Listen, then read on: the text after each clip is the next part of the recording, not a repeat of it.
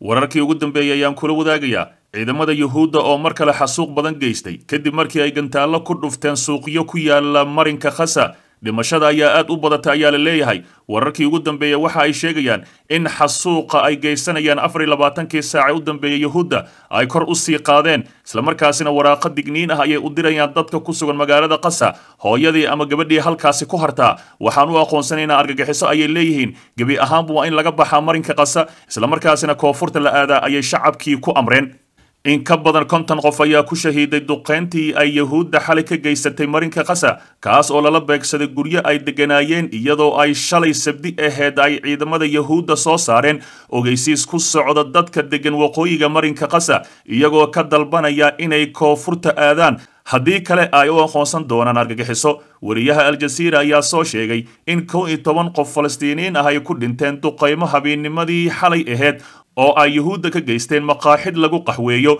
oo ku taalo khan yunis ee koonfurta marinka qasa waxa uuna intaasi ku daray in duqaynta sidoo kale lala beegsaday guri ay degan yihiin dad shacab ahi oo ku yaalla xerada lagu magacaabo bureej ee bartamaha marinka qasa wariyaha ayaa sidoo kale sheegay in sagaal qof ay ku shahiideen tobanaan kalena ay ku dhaawacmeen duqayn habeenimadii xalay aheyd lala beegsaday suuqa xerada nusayrad ee bartamaha marinka qasa. Duqaymo kala duwan ayay ka geysanayaan yuhuudda islamarkaasina xasuuqa ay ku hayaan. Shacabka ayaa sii badanaya. Dhankeeda xafiiska warbaahinta ee wasaaradda arrimaha gudaha iyo amniga qaranka ee marinka qasa ayaa sheegay in diyaaradaha dagaalka ee yuhuudda ay beegsadeen dad shacab ah oo ku sugan gudaha suuqa taas oo keentay inuu dab ka kaco tiro baqaaro ah iyadoo kooxaha dabdamiska ahi ay in muddo ahi la tacaalayeen shan falastiiniyiin ah oo ka soo jeeda qoyska lagu magacaabo abuushamaala ayaa ku shahiiday weerar dhinaca cirka ahi oo ay israa'iil ku qaaday guryahooda oo ku yaalla magaalada rafax ee koonfurta marinka qasa sida laga soo xigtay ilo caafimaad oo falastiiniyiin ahi. Wararka ayaa intaasi ku daraya in afar iyo toban qofood kale ay ku dhinteen goob kale waxaana ku jira ayaa la leeyahay carruur aad u yaryar shalay ayay ahayd markii ciidamada yuhuudda ay duqeeyeen guri ay degganaayeen oo ku yaalla magaalada diir albalan ee bartamaha marinka qasa halkaas oo ay ku dileen tiro badan. Waxa ayna sidoo kale ku dhaawaceen dad ay ku jiraan carruur muuqaallo ay faafiyeen dadka u ololeeya falastiiniyiinta ayaa muujinaya kiikh iyo boor aad u baaxad weyn oo guriga kadib halkaasi ka kacay dadka ayaana qaylinayay ayagoo ku jiro hanala badbaadiyo. Guryihii ayaa ku soo dumay murugo xooggan ayaa halkaasi ka socota. Digniinta yuhuudda diyaaradaha yuhuudda ayaa fariin u diray dadka deggan waqooyiga khasa oo ay ugu digayaan inay ka baxaan aagga ay ku nool yihiin oo ay u jihaystaan koonfurta marinka qasa si ay u badbaadiyaan noloshooda iyaga oo ka digaya in qof kasta oo aan u hoggaamsamin amarada loo aqoonsan doono la shaqaynta argagixisada oo laga yaabo in uu noqon doono dil. Tiro ka mid ah muwaadiniinta reer falastiin ayaa qoraalka bayaankaani ku faafiyey baraha bulshada iyagoo ku tilmaamay mid si adag loo yidhi si kastaba ha ahaatee reer falastiin ayaa wacad ku maray in aysan marnabo ka baxaynin magaalada qasa ay ku dhiman doonaan yuhuudda ayaa doonaya mar allaalay markii ay dadka shacabka ahi ka baxaan magaaladaasi in ay lug ku soo galaan marinka khaza dhowrkii maalmood ee la soo dhaafay dhowr waddan iyo hay'ado caalami ah ee xuquuqul insaanka ayaa dhaleeceeyey dalabaadka yuhuudda ee ku wajahan dadka deggan waqooyiga kasa inay ka baxaan koonfurtana aadaan waxayna dalbadeen inay ka baxaan iyaga oo diiday barakicinta dadka deggan marinka kasa duqaymaha yuhuudda ee ka dhanka ah marinka kasa ayaa socda maalintii shan iyo tobanaad kadib howlgalkii daadadka al aqsa kaas oo lagu bartilmaameedsanayo dadka rayidka ahi duqaymo cirka iyo dhulka ahi oo sababay dhimashada iyo dhaawaca kumanaan oo u badan carruur iyo haween iyo burbur baaxad weyn oo gebi ahaanba ka dhacay. Gudaha magaalada kasa si kastaba ha ahaatee yuhuudda ayaa xasuuqeeda sii wada halka xamaas ay gantaaladeeda mar kasta ay ku rido gudaha yuhuudda waxaana la soo warinayaa wararkii ugu dambeeyey yuhuud badan inay ka barakacayaan deegaanada ku soo dhacaya gantaalada ka imaanaya xamaas. Isku soo wada duuboo dadkaasi shacabka ahi allah ayaan uga baryaynaa inuu ka badbaadiyo dhagarta ay u maleegayaan yuhuudda duqayn habeen iyo maalin ah ayaa lala beegsanayaa. Meel u fiyow ma jirta. Xataa dadkan ay dhahayaan u guura ama u carara dhanka koonfureed. Ayaga ayaa duqaynaya fadlan dib u daaw wararkeenii hore ee calansida mediya wararkii ugu dambeeyey ayaan kula wadaagayaa. Wasiirka difaaca yahuudda oo wacad ku maray in magaalada khasa uu ka dhigi doono meel siman islamarkaasina cagta uu marin doono waxa uu yidhi annaga ayaan xukunno. Annaga ayaa boqolkiiba sagaashan gacanta ku hayno. Laakiin hadda xamaas ayaan soo afjaraynaa. Waxa uu ku baaqayaa in reer khasa gebi ahaanba cagta la mariyo.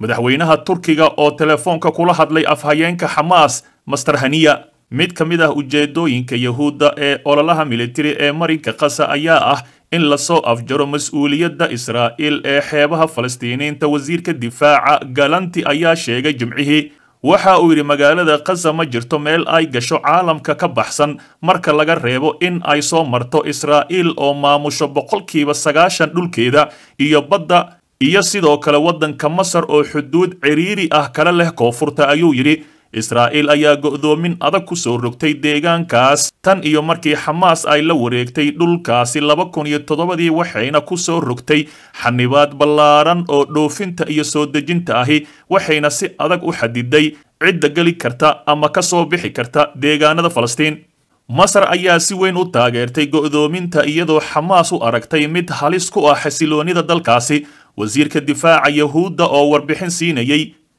guddiga arrimaha dibadda iyo difaaca ee baarlamaanka dalkaasi ayaa sheegay in ololaha khasa ee bilowday kadib weerarkii dhimashada lahaa ee xamaas ay ku qaaday magaalooyinka yahuudda toddobadii oktoobar uu yeelan doono saddex weji ayuu yidhi. Marxaladda koowaad waxay ahayd howlgalka militari ee hadda socda ee loogu talagalay in lagu burburiyo kaabayaasha dhaqaalaha ee xamaas wasiirka ayaa yidhi isaga oo intaasi ku daray in wejiga dhexe uu ka mid noqon doono howlaha xoojinta hoose ee baabi'inta jeebabka iska caabinta xamaas ayuu yidhi. Taas oo ula jeedo in xamaas cunuqabatayn xooggan oo dhanka jeebka ahi ay saari doonaan. Wejiga saddexaad wuxuu u baahan doonaa in meesha laga saaro mas'uuliyadda israa'iil ee nolosha marinka qasa iyo abuuritaanka xaqiiqo cusub oo amni ah oo loogu talagalay muwaadiniinta reer israa'iil ayuu yidhi wasiirka difaaca sida lagu sheegay bayaan ka soo baxay xafiiskiisa yahuudda waxay si dhaqan u siin jirtay magaalada khasa inta badan baahideeda tamarta laakiin waxay demisay dhuuntaasi wixii ka dambeeyey toddobadii oktoobar waxayna sidoo kale diiday inay u oggolaato biyaha iyo daawooyinka ama wax kasta oo gala magaalada khasa adduunka ayaa u fahmay xataa magaalada khasa biyaha laga cabo israa'iil ayaa soo dayso waa ayna xirtaa sidoo kale korontada ayaga ayaa maamulo yahuudda ayaa mar kasta eegta in ay kormeerto alaabaha la soo geliyo magaalada khasa si ay uga hortagto in agab militari ay gacanta u galaan ururka xamaas si kastaba ha ahaatee wasiirka ayaa ku baaqay in xamaas uu ka dhigi doono meel aan horay loo arkin ama dhul bannaan. Madaxweynaha turkiga rajab dayib erdogan ayaa qadka teleefoonka kala hadlay hogaamiyaha kooxda falastiiniyiinta ee xamaas ismaaciil haniya sabdigii erdogan waxa uu haniya u sheegay dadaalka ankara ee xabad joojinta gargaarka bini'aadinimo si loo gaaro khasa iyo daaweynta suuragalka ahi in dhaawacyada reer falastiin la keeno dalkaasi turkiga. Madaxweynaha ayaa haniya u ballanqaaday wax kasta oo garab istaag ahi. Waxa uuna diyaar ula yahay dhaawaca reer falastiin in la keeno waddanka turkiga. Garab kasta oo aad u baahan tihiin diyaar ayaa ula nahay ayuu yidhi madaxweynaha turkiga dhegaystow ogow haddaadan xalka qayb ka noqon waxaad qayb ka tahay dhibaatada dalka